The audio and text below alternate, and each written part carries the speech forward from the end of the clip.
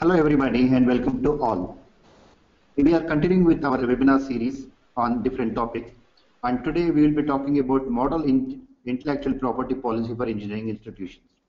See, the, let me tell you the background. See, last week actually I made a presentation on intellectual property rights. The presentation was all about intellectual property rights. What is its significance in the context of engineering education? Engineering education today has become a technical hub because of many R&D projects that the, the, faculty are taking, many of the MTech or even BTech projects students are doing, there's a lot potential of innovation and this innovation uh, may produce some occasions where an intellectual property can be created. So once the IP is created, it just must be captured. So the process of actually identifying and capturing an IP, which can be later commercialized, needs a lot of hard work from the institution. So this cannot happen in isolation. So in order to have this actually an institution has to do a policy and then it has to be implemented. So today's presentation will give certain guidelines regarding this, how an institution can go through the process of establishing an IPR policy and how to identify stakeholders and how to implement those processes. So why is this seminar? The background is this session is actually a continuation of my earlier webinar on IPR for engineering, which was done last week. So what is the agenda? The agenda is this webinar will provide you a general guidelines for developing an IPR policy for an institution. This is in the context of an engineering institution, but this IPR policy is a very generic idea. It could be there for a medical hospital, it could be there for a government, it could be there for a hospital, and so on and so forth. But today I'm talking about in the context of an engineering. So what does this do? The purpose is it will provide some initial inputs. If your institution is planning uh, to go and develop an IPR policy, this webinar will give you initial inputs and also guidelines for developing an IPR policy for an institution. And the question you may ask like what is my qualification to do this? Very simple.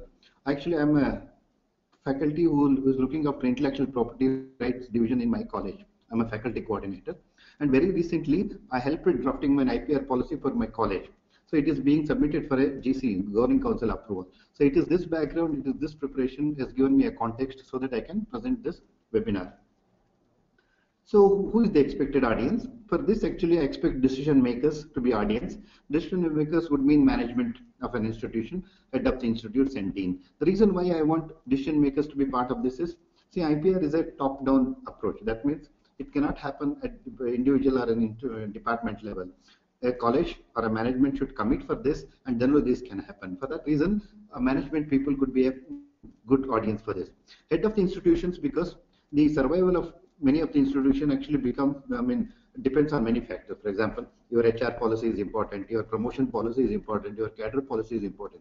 Today there is one more addition to this, that's your intellectual property rights. Because you need to attract good people who are into research and when they come they would always look at your research policies including IPR policy. For that reason you should be there. An institution but must participate in this. And deans are needed because deans are actually the interface between institution and other rest of the world. So normally whenever they go for a meeting or they participate in a conference, occasionally the idea of I mean the idea of IPR and what it does in a particular institution comes up to this. So the first audience point, I mean audience which I am interested would be decision makers. Then there are executives like me who would be looking after an IPR cell within an institution. So my role actually is to educate my people regarding IPR and also the provision that is included in our draft policy. Then finally, there are stakeholders like faculty, students, and researchers. The reason why stakeholders are there, faculty must be interested because as a part of his academic career, he will be doing some kind of research, either as an MTech project or a PhD. So in that case, what actually happens is now if there is a chance of IPR being created as part of his work, then the question of registering it for example, patenting and copyrighting takes a lot of effort and uh, lot of effort and money involved. So for that reason, many institutions have, have instituted this policy. So faculty, whether he is interested in his own institution or want to collaboration with other institution, first and foremost thing that he has to ask and to know is the IPR policy of that. Students and researchers must be included because there is always a windfall of getting an IP, which if converted can commercially benefit many people. So the audience, I told you, is decision makers, executive, and stakeholders. Then I'll come back to the, the presentation itself. Today, the content will be like this, the introduction. So I start with my presentation with a couple of slides which will introduce the context of this presentation. That is, how do you derive an IPR policy for institution? So any policy statement I told you is a conceptual one. So it has to start with definition. So I will come out with certain definition which will include what is intellectual property, who are involved in this, who are the stakeholders, what is their role, what are the names they give to them and all. So once that is done, then the scope of the policy is taken care. That means how does and how depth the policy goes, who is involved in it, who is outside of it, and what is the implication for the people who are involved in this, what is the implication for the people who are not involved in this. That is comes under the scope. And in the earlier presentation, I told you that IPR is a techno, legal, and commercial thing. That means there is a technology because it's happening in engineering college. It is legal because it needs to be registered under a particular law, law, and it's a commercial because it has a commercial and a ben, uh, business benefit. So for this reason, legal issues concerning the state of research must also be taken care. That means you may be a research uh, student, you may be a faculty research, maybe you are running a center of excellence. Your role must be considered and that should be put in proper place in the in the context of IPR. Then now these are the days where actually you get collaborations and sponsorship. Uh, uh, departments like DST in central government of India and other things, no, they sponsor a lot of research projects. Now all these projects also have a potential of generating IPR. Then how do you accommodate this external agencies who have funded these projects. What is their role? What is their contribution? What is their benefit? This must also be taken. So this is covered under external sponsorship okay, and collaboration. For example, if your university or your college is collaborating with another institute and now there is an involvement of two institutions, two IPR cells, and how do they cooperate? That's also considered. And the ownership of intellectual property. See, in a very rare case that there's one individual who create an IP, uh, intellectual property. But in a collaboration project, there are many multiple people involved. A couple of people within the same department, or a couple of people from different departments within an institute, or people from different collaborating organizations. They can come together. Then how do you place them? How do you connect them? How do you relate them? This is also a part of this policy. Then comes the question of conflict of interest. Conflict of interest is actually, suppose you are trying to promote something are you promoting that for the reasons that you will benefit eventually? So that's called conflict of interest. For example, if there are two research projects sponsored by two different companies and done by the same institution or the same department, if these two collaborating agencies, if they are competitor, for example, assume that Microsoft is funding a research in your college at the same time Google is also funding. Then how do you manage this? Because there's a conflict of interest because they are the competitors.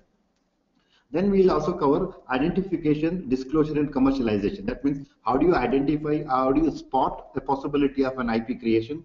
Then how do you make disclosure? Disclosure is a process where actually you officially announce that you have made some kind of an invention or some kind of an IP discovery. Okay, recording and maintenance. I told you this since the legal process, everything if, when it goes to court and all, you need a lot of recording evidences for that recording process to be done. In one of the factor which actually makes IP interesting is the possibility of you making money when it is commercialized. Then the question of generating revenue and distributing revenue becomes a big factor within the IPR policy. For example, unless you on front tell the researcher that in case your IP is commercialized, this is the benefit that you are going in terms of money and all, they may not be actively participating. Similarly, unless you unless you tell the companies or organizations that if you are collaborating with us and if the that process produces some IP, this is a distribution scheme. That means we will retain from 40% of revenue and you will go 60%. This kind of a thing is needed. And you know, since it's a legal thing, there is always breaching. Some party may actually agree for something today and actually breach that one. So that is also taken care. And finally, if there is a dispute and all, it has to be taken by care by court and all. So these are the many things that I am covering. So let me start with introduction. So the institute recognizes the need for encouraging the practical application. So why will an engineering college will go for an IPR? Because it recognizes the significance of practical application and the economic use of the results of the research carried out at the institute for the benefit of the general public. So the assumption is that we are doing some research and this research will produce IP and this IP can be commercialized and when it is commercialized it will have some practical application and it will also benefit the society at large at a different scale, scale it will benefit the researcher also and also the institute. In order to inculcate this kind of an ecosystem, an institution will go and adopt a policy. So what does this present policy will do? The present policy relates to the ownership, protection and commercial exploitation of the intellectual property. So it assumes that there is a chance of creation and once there is a created, there is a big question of assigning ownership to that. That is covered by this policy. And then once the ownership is given, then it is to be protected from other people. That protection is also taken care. And the commercial exploitation, if and when that invention or that patent becomes commercially usable, then how, how do you go for the exploitation? And once when you are going for exploitation, how do you distribute the revenue? That is what there's done. The document also set out the rules for Institute for cooperation with industrial and business organization. Today, you know, we are living in a very connected world. You rarely find an institution which is doing some research in isolation, either for the funds or for the reputation or for the technology. They always go for the cooperation. So this policy will also take care of this. What are the terms and conditions? What are the kind of institutions through which we should be going for collaboration? What should be the limits of that cooperation? This is also taken care by this one. And what is the aim? The aim is very simple, promote and encourage and aid scientific investigation and research. So if you assure people of their I mean, properties like intellectual property protected, people will more and more willingly participate in this process. So in order to promote and encourage the and scientific investigation, that you do a kind of a scientific investigation in the process, you may actually find out or make some discovery. This is what the idea is. Provide legal certainty. See, for example, unless there is a certainty in a, or in a climate, people will not participate. See, many of the Western countries, they say that we cannot invest in India for a simple reason that there is no certainty regarding the laws. Okay, there is no clarity regarding the laws. So this kind of a thing, if there, then people will not participate. So the IPR policy within an institution will try to establish that certainty. That means what is your role, what is your right, what is your responsibility, what is your share, all those things and set out the procedures for the identification, ownership, protection, and commercialization of the intellectual property. That means how do I identify, and for that everything there has to be a procedure. It also ensures the economic benefits being distributed fair and equitable manner. That means no researcher should feel that he was actually not honored well in terms of the revenue given, or no party should be dis uh, remain dissatisfied because he was not rewarded equally. So this kind of a fair and equitable commercial, I mean, um, the sharing is also taken care in this one. And as the reputation of the institute, see, today actually institutions are measured from different angles. If you look at uh, the advertisements given by institutes like Amity and all, they say that our institution has applied for 200 patents or 2000 patents. Now, what does it mean? So now what it means is Amity institution actually promotes IPR activities very heavily. For that reason, it has been active in this, and for that reason, many of the stakeholders within the institution actually applied for a patenting and all. So this will actually enhance the reputation of that institute. See, many a time you see big advertisements of this institution and many other institutions claiming that they have been applying for many patents. This is an indication of their commitment and also the progress they have made in this IPR.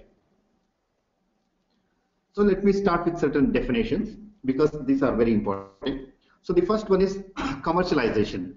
So commercialization means any form of exploitation of intellectual property, including assignment, licensing, internal exploitation within the institute and commercialization via, spin-off enterprise. What it means is now you have created an IP, maybe it's an algorithm, maybe it's a device, or maybe a process, and somebody will find a, a business application to that. So the process of converting your IP and putting it into a practice where it can business can generate revenue is called commercialization. Copyrighted works, these are the products which are created by the intellectuals within the institution, like writing a book or writing a journal. That's also taken care here. Okay. See, in order to do anything, you need resources. For example, you need money, you need infrastructure, and you need support. You need all this kind of a, uh, in, uh, resources. Okay.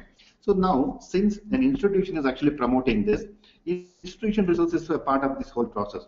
Institution resource means any form of funds, facilities, or resources, including equipment, consumables, human resources provided by the institute, either directly or indirectly indirectly. So the point is actually now suppose a research is being done in a center of excellence. Then my college has put a lot of money to establish that center of excellence, to buy equipments there, to run them, to maintain them. So all this becomes a resources, an institution resource. For example, library could also be that. But library is not considered to be an integral part of this, although it is a part of the institution resource. That resources which are directly helps an institution, a researcher, is called institution resource. Intellect intellectual property, this definition we already know in the previous thing. Intellectual property is a mental I mean, creation of a mind, which could be in the form of an idea, or it could be a point of a patent, or a copyrightable item, or a process, and so on and so forth. Okay.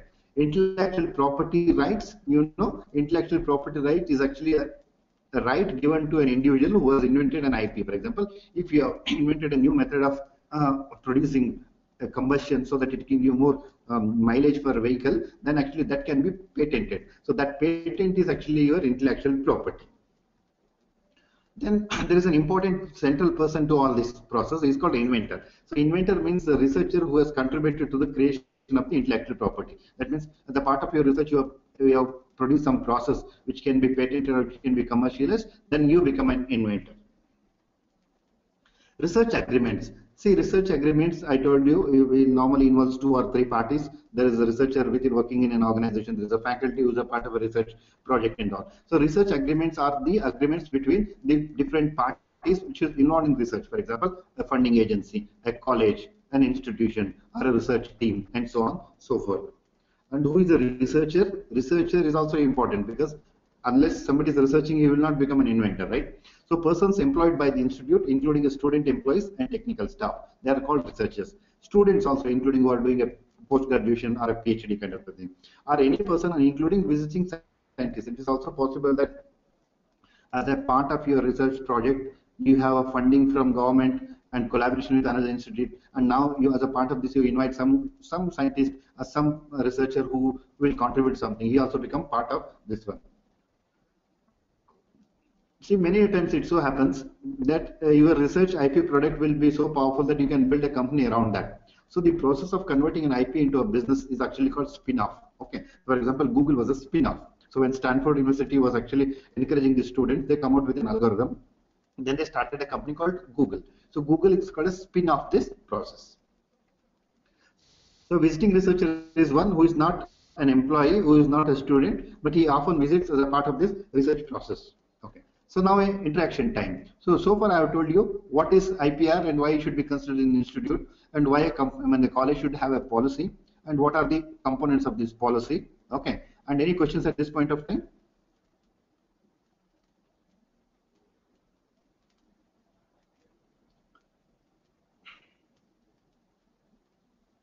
Yes, sir. Any questions, sir? Yes, sir. Yes, sir how company can uh, able to collaborate with institutions? Okay see for example i can tell from my college example. See i'm an engineering college and we actually we have a collaboration with a company called Robert Bosch. So what they have done is actually they have established a center of excellence in our college which is related to some fabrication and mechanical things.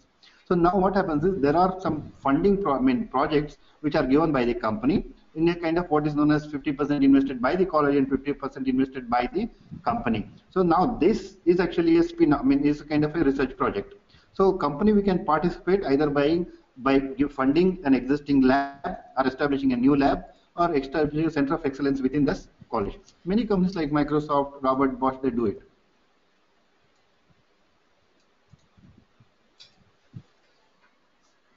What type of funds are currently available to implement this program?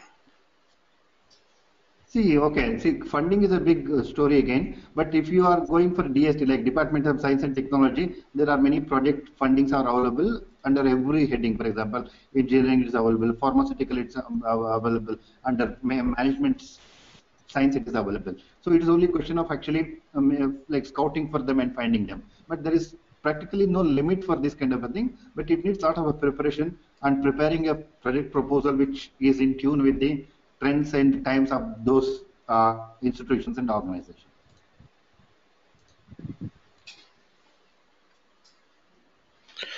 During an internship program where a student intern works as an at an industrial premises and uses industrial resources, okay. If an IP is generated by him, should the academic institution also have claim on the IP? So actually, I myself send uh, students to internship. Okay, so this goes by company and company wise. Actually, for example, when I myself attended a sabbatical in uh, uh, Infosys about 10 years back, so before I entered, I made an agreement. I mean, I, I was asked to sign a document which stated, see, whatever the IP that you produce during your sabbatical here belongs to Infosys company and not to you. You may be named, if at all, as an inventor, but not as an owner. So something similar things would actually happen in any other organization. And if you ask any of your students working in a companies like IBM and all, see, this is if you are an employee, then actually you are named as an inventor. Similarly, uh, many of the companies which actually take my students or interns, they actually laid out some re regulations saying that okay, if it is there is an invention, or if there is a potential of invention, ownership remains with the company because they have given the infrastructure, but inventorship might be given to you. And if there is any revenue sharing, let's also discuss that, depending on the potential of that. So, but the summary is that that terms and conditions are mentioned in the beginning. So, if depending on the duration of the internship and all, the significant participation is given.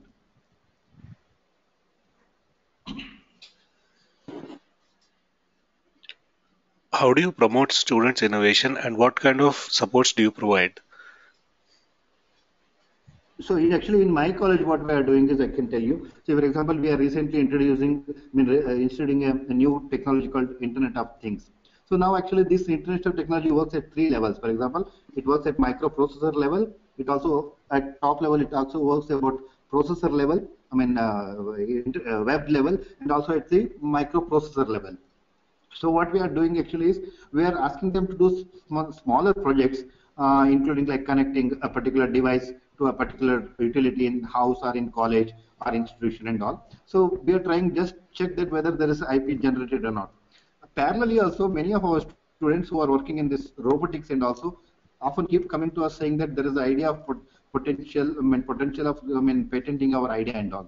So this also we are doing. And we in fact have two uh, applications pending or processing on this intellectual property patents kind of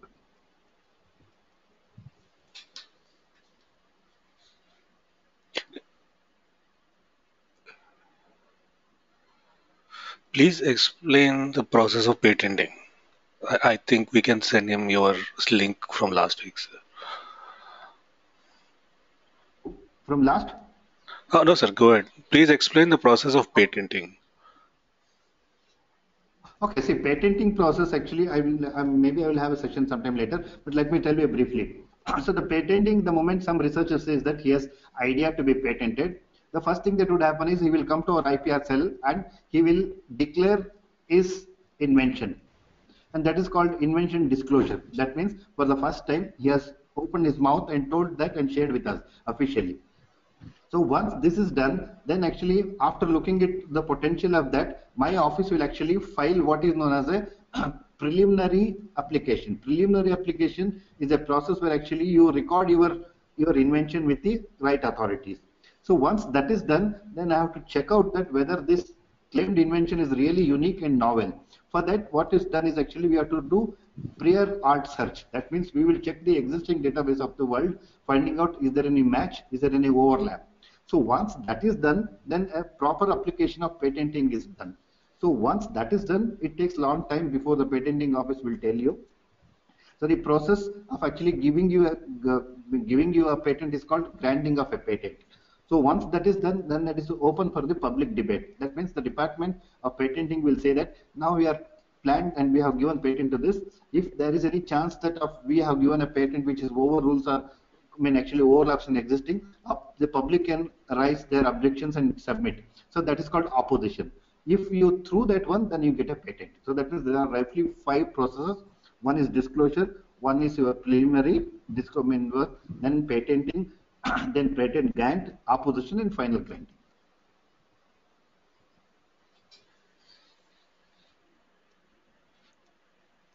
Uh, uh continue, sir. We, we will continue the questions afterwards. Okay, sir.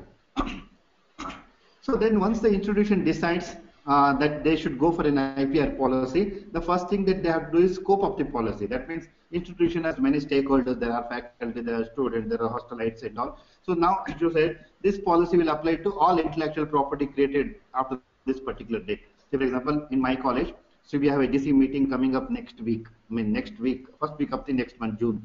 So if the my proposed proposal policy is adopted with corrections or without correction, then it will tell us the date. That means from today onwards you can start. So whatever that is IP is created after that date, say June 5th, will actually is covered under this. That means you have to mention when the the IPR policy will come into effect. Then this policy also apply to all researchers. That means there is no exemption. You cannot say that researchers working in computer science department are covered by this and researchers working in mechanical department not covered. So scope will tell who is involved, what is the time frame there for that. And legal issues concerning the status of the researchers. That means the person exercising the authority or employment on behalf of the institute shall ensure that the employment contract or the other agreement types uh, employment relations have a provision for placing researchers under the scope of this policy. What it means is, see, suppose my new policy is approved from June 5th. So suppose we are recruiting another professor or a student, or if you are admitting students next year, in this admission process itself, we will include one phrase or one column saying that I will abide by all the IPR policies of this college, whether you are a new faculty joining my college or new student joining. So this is what it is.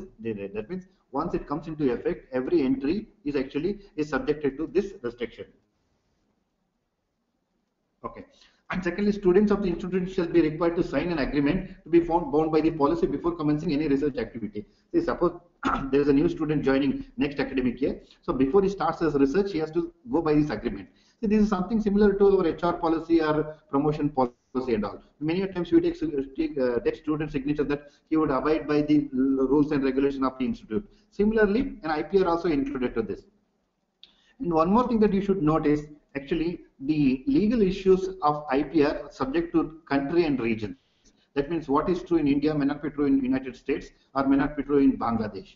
So this is subject to this. In that case, for example, if there's a collaboration between India and Bangladesh or an institution in Bangladesh and America, so those additional terms and conditions should be mentioned. Students of the institute shall be required to sign an agreement. I told you this. Okay. Also look at postgraduate students enrolling for research. That means any entry, anybody is becoming an officially part of the institution must be made to sign and to abide by this agreement. Special arrangement may be made to research activities pursued by researcher employed in the institute but working in another institution as an academic visitor. now the answer to your earlier com uh, things come. So for example, if somebody has go, go, gone as an entrepreneur or an, uh, for the internship. Okay. So now he is my MTech student, but he is doing internship in another company. Then what happens if you find some research over there for a project that we have suggested to him? So this also covered there. Then there will be a kind of an agreement. What happens to my college if he finds an AP? What will happen to that institution where he is doing the visiting faculty? And we also maintain rights and obligations. That means if an IP is created, what are the rights given to the inventor? What are his obligations? For example, he should not disclose that same to somebody third party at all.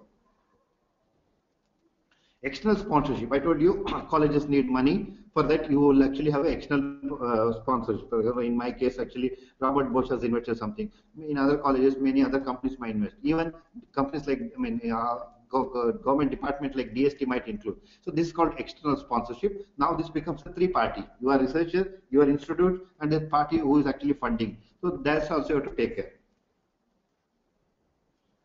Employees, there may be a person who is not a researcher, but an employee, for example, a, a technician in a lab. Okay, he's not actually a researcher, but he is also covered under this because it is part, he belongs to part of the institution. Ownership of the so now so far we told you that who can participate, what is the obligation for him. Now we are talking about the ownership. So employees pursuing the research activity at the other institution. For example, now you have sent, see for example, my college might sponsor somebody to do his PhD in IIT Mumbai. Okay, then what happens to the IP that is created? This is actually a tri-party or four-party involves and details have to be worked out depending on the condition, I mean the situation.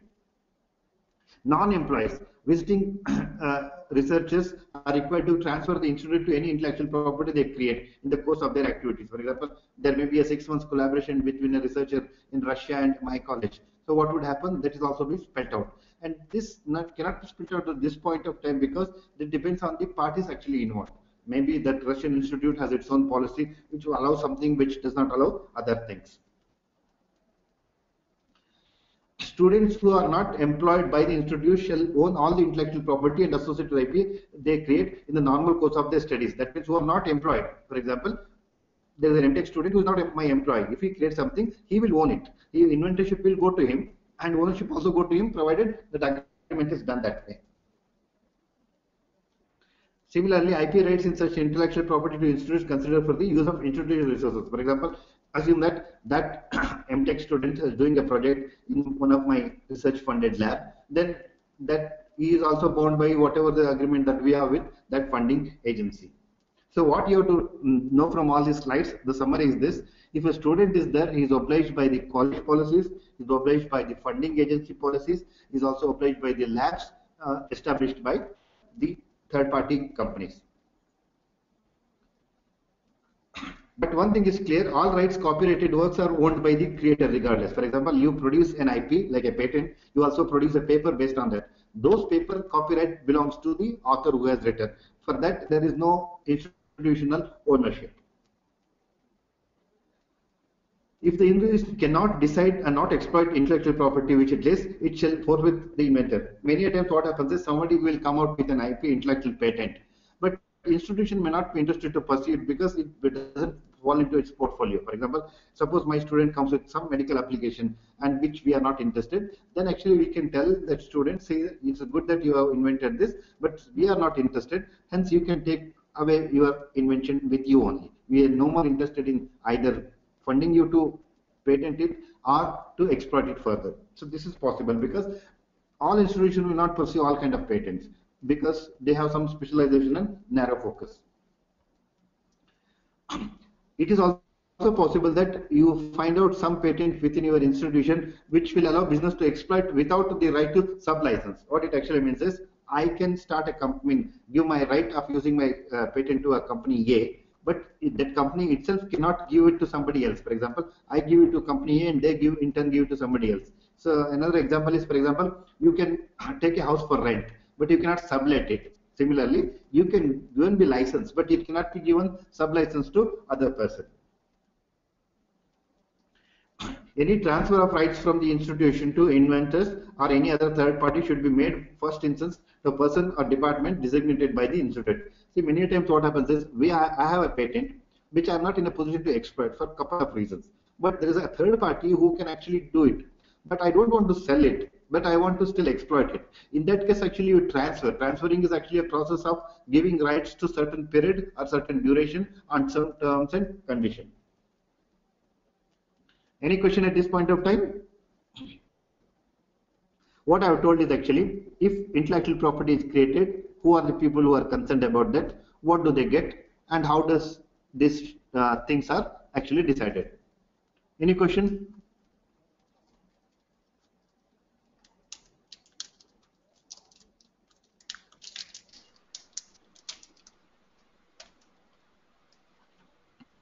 Do the students any Sridhar?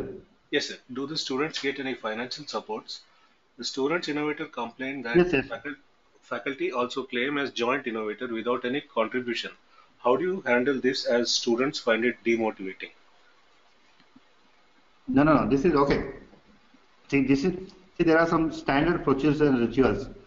Okay. So whenever a researcher actually finds uh, files a paper in university or a conferences and all it is a standard practice that you will add his guide name to that.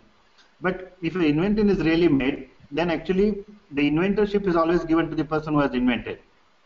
But ownership remains with the institute.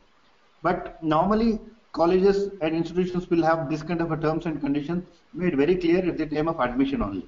Say for example, when Google uh, founders were studying in Stanford University, when they invented, the professor did not take any inventorship for that, nor the ownership. The ownership remains with Standard, Stanford University, but inventorship remains with the students. This is again a decision to be made by the institute in cooperation with the students or in consultation with the student and faculty. And that largely reflects the culture and the evolution of that institute.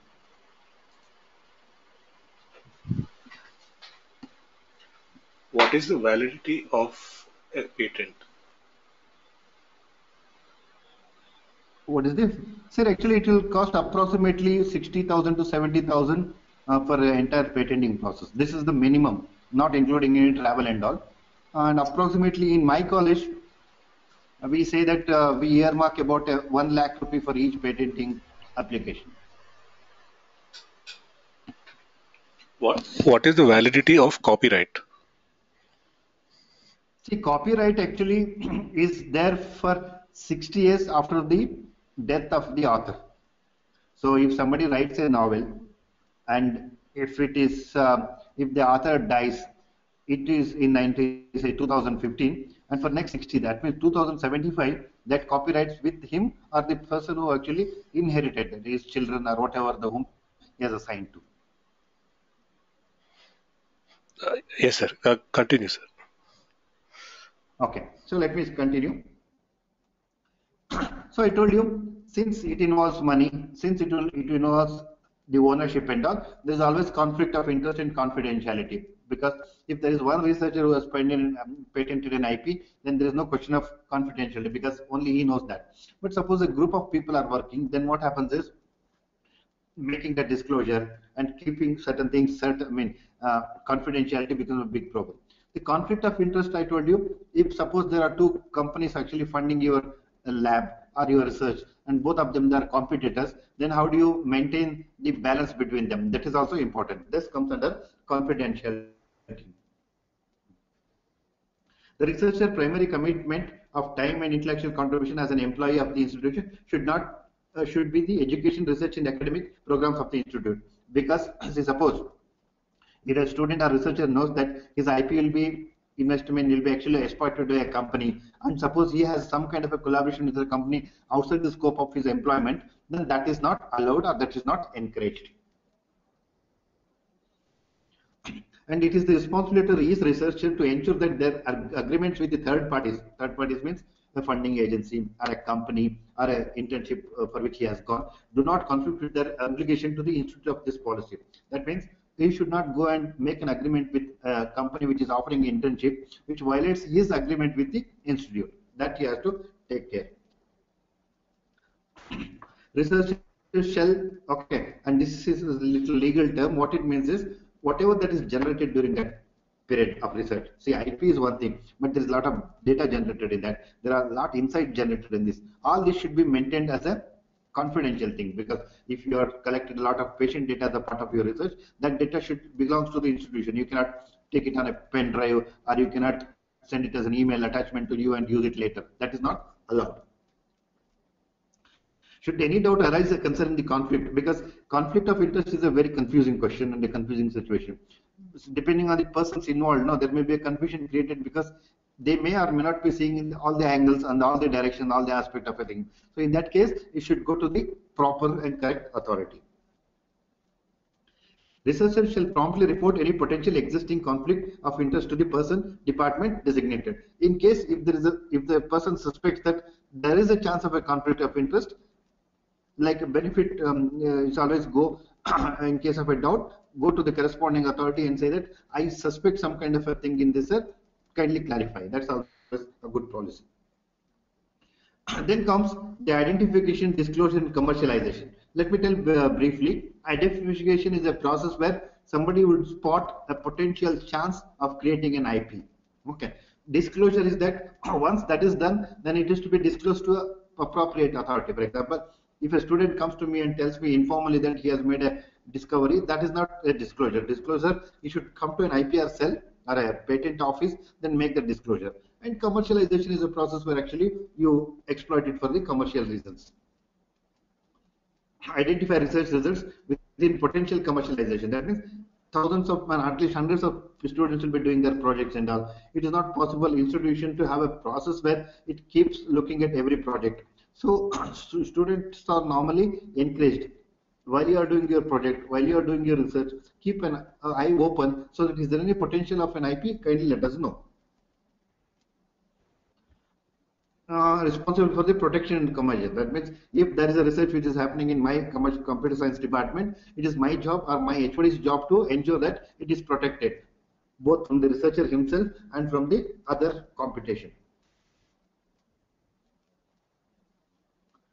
So normally if somebody invents something and if there is a chance that it can be patented, an application, written application should come from him saying that I want to make a disclosure and kindly give me a session within IPR cell and that will be given to him.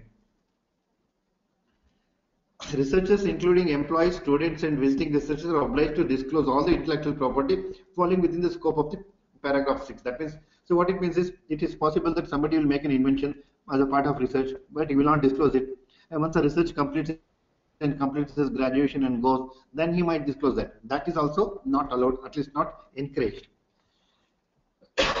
copyrighted work shall be excluded from this disclosing. That means copyright itself is disclosure. For example, the moment you publish a paper, that itself is counted as a disclosure. It doesn't need any additional disclosure. This is all little technical, meaning that how to go about disclosure. Inventors shall disclose all research activities and results relevant to the intellectual property. This is all question of both ethics, honesty and all. You may disclose certain things which are not that important and you, you hide some attributes which are very important. That should not also be done. See here, in case of an incomplete disclosure, the form may be sent back to the inventor requesting to additional information. See, because inventor is the best judge. So the rest of the public, rest of the research team may not be able to understand this invention that easily and just straightforwardly. In that case, if there is a confusion, if there is a lack of information, that can be sent back to the person and he will actually give further information to strengthen his invention.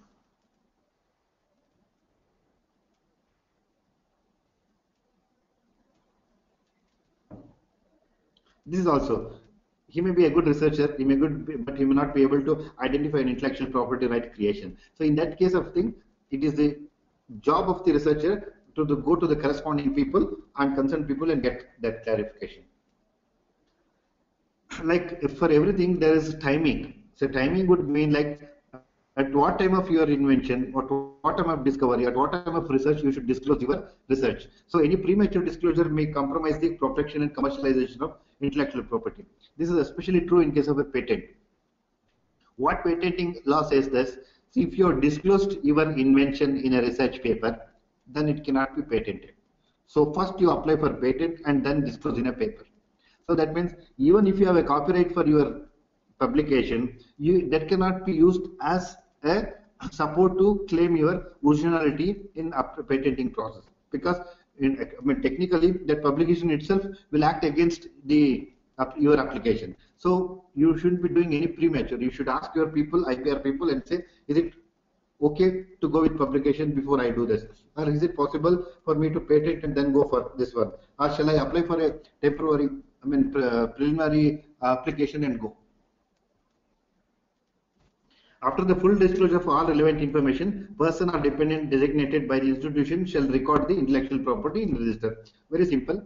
If somebody comes for a patenting application in my college, I, after the disclosure, that is recorded saying that this this this person has disclosed this is this item and this is under the process.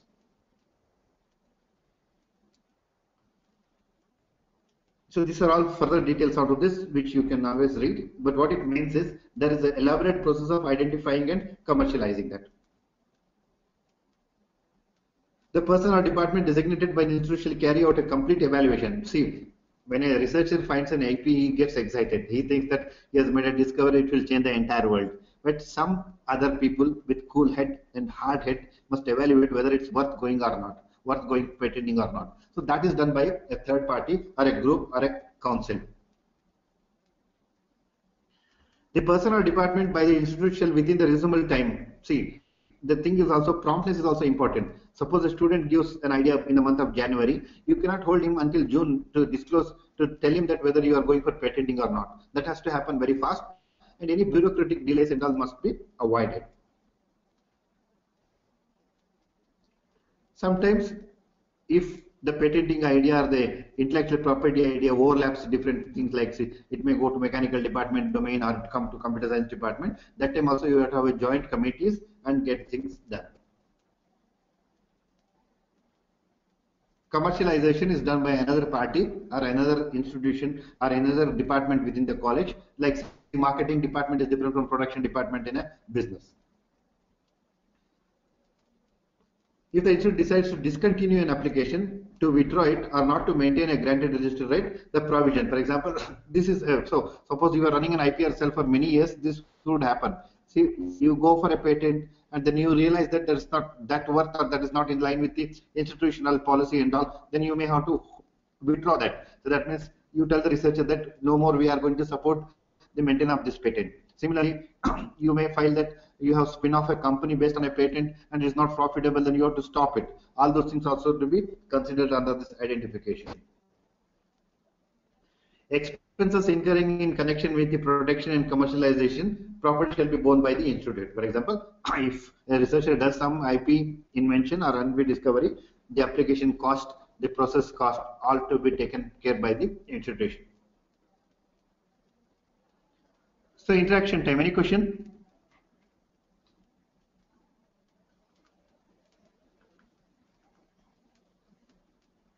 Any questions, sir? Uh, no questions, sir. Okay, okay.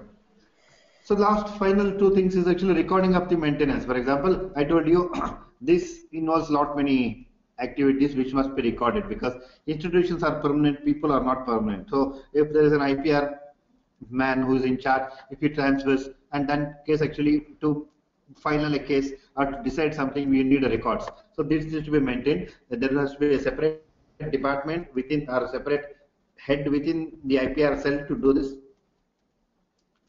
shall maintain accounting recordings each intellectual property. That means who is the student who applied for IP, what was the cost incurred on that, what is the maintenance cost which we have to give, all those things are taken. And the next important thing is distribution of revenues. In case commercial agents happen and start generating money, what needs to be done? So for that actually, this is what is done. So suppose there is an invention which start generating money, then there is a net income. Assume that it makes about 100 rupees. Then agreed, as previously agreed, about 7% will go to inventor, about 25% go to department, about 70% go to the institute. This is assuming that inventor belongs to college, department, he works in the department, and he is working in the institute. But again, if there is a funding agency, then this distribution will differ. This is what it is. In case where there is more than one inventor, then there's a prime inventor, then the secondary inventor. Okay, and then you have to work on revenue distribution. So what it means like it is like in business. So depending on the stakes that you take, depending on the investment that you make, the kind of the contribution that you have made, your distribution, your revenues will change. Similarly, in invention process, depending on the contribution that you have made in the creation of that one and the participation or support given by the institution and all, there is a distribution pattern which go, goes case by case. In case of establishing a spin-off enterprise, that means suppose somebody starts a business on an IP, then there's a different structure because now it's one start generating, I mean, generating business. It goes by day by day, year and half year. Every year it will generate money. Then whatever the duration that is to be taken care. In case of exploitation for trademarks and other things, this is secondary. So suppose the spin-off company is actually become so successful that the trademark itself is becomes a valuable thing, then that is to be taken care. And next to important is breach of the rules of this policy. See, we all know that in whenever you are running an institution, there are occasions where somebody will break a law, somebody will break a rule. Okay, in that case, it is called a breaching of a law. That means you agree to do something, you did not do that. So you agree to um, honor certain things and you did not honor that. So that kind of a thing is called breach. For that, this is the policy. Breach of the provisions of this policy shall be dealt with under the normal procedures of the institute. That means there will be a committee which will address these issues and that is a very sophisticated process. And many a times, if you're not able to settle the issues within yourself, within the institution, then that becomes a dispute and appeals. Then it goes to court and courts will decide. And I told in the previous thing, there are courts at state level, national level, and world level.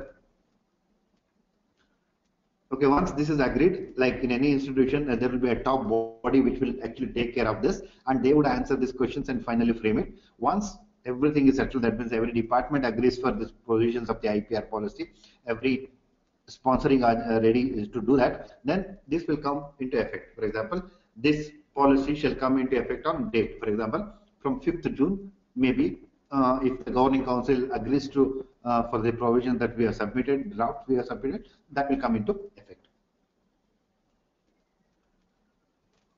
So the conclusions, the provisions of this model intellectual property are based on the existing intellectual property policies of several universities and institutes. See, universities also R&D institute today, engineering college also institute, medical college also institute. So the thing that we are given is a model. Model means it actually, it gives you a very general case. But this can be customized to your institute the way you want it. For example, if your college is not taking any sponsorship, then that element won't be there. If you are not going for a collaboration, that element won't be there. Maybe if you have a multilateral, multi-party collaboration, then you have to add additional element. So this to be taken care. So the whole idea of this project, when the presentation was to say that there exists a model which can be customized to your requirement. So when you are developing, this can be used as a base document and you can use it for whatever the application that you want. So any question at this point in time because I've almost concluded my presentation.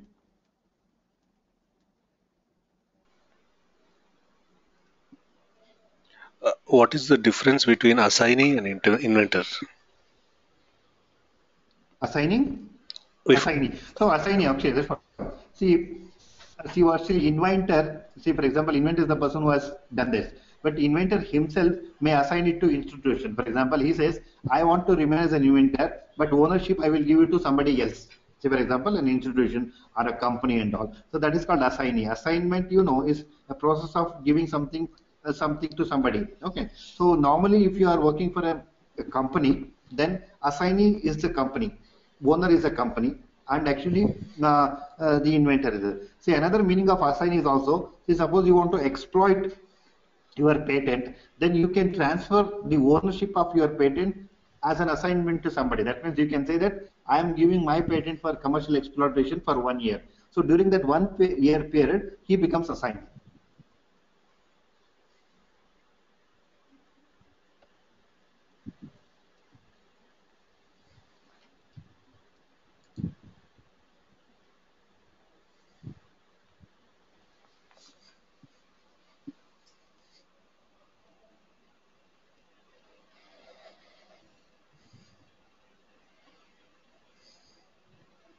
Hello, Sridhar.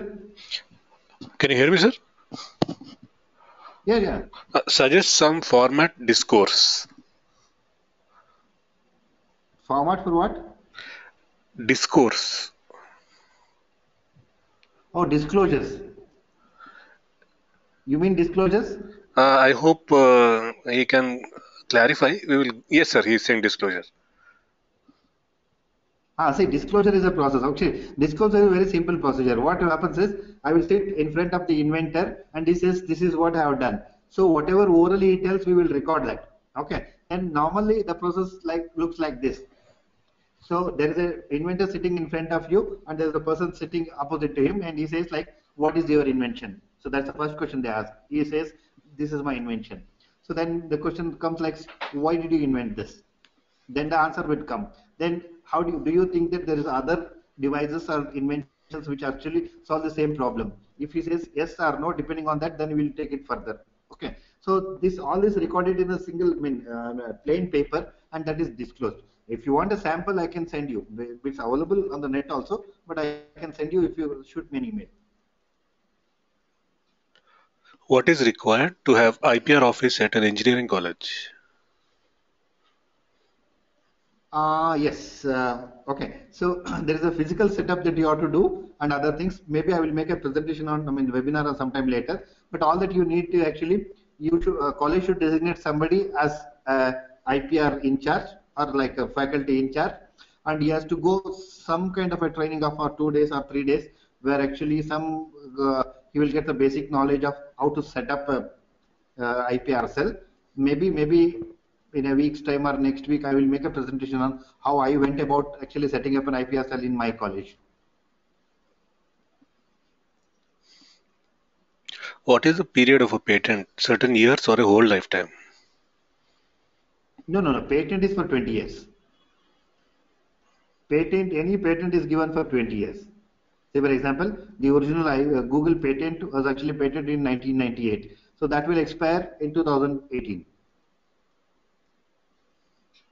What is the cost involved? I told you, no, sir. Actually, uh, any patenting cost will cost you anything between sixty thousand to one lakh, depending on your location. For example, if you're a city like Metro and all, then there's no travel cost and all. But if you're in a place like Dharwad and all, then we have to move between Pune or Mumbai to get it done. So approximately six minimum is sixty, max is one lakh.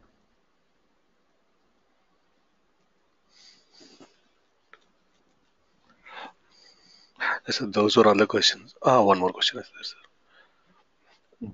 What are the necessary forms one should fill up to submit a patent, and how much information shall be disclosed initially?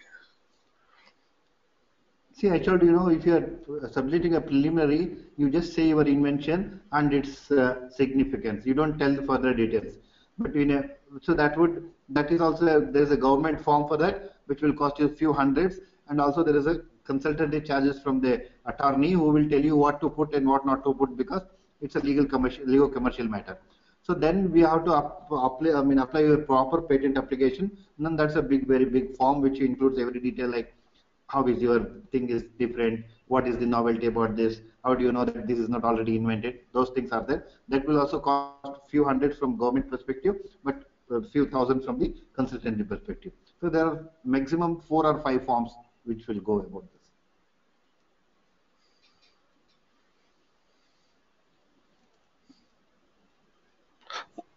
Yes, sir. Those are all the questions. Thank you very much, sir. Uh, thank you very much for Sridhar and also all the audience. So in case there are any question, actually you can always send it to them here. So these are the, some references which I used for this. And uh, this is my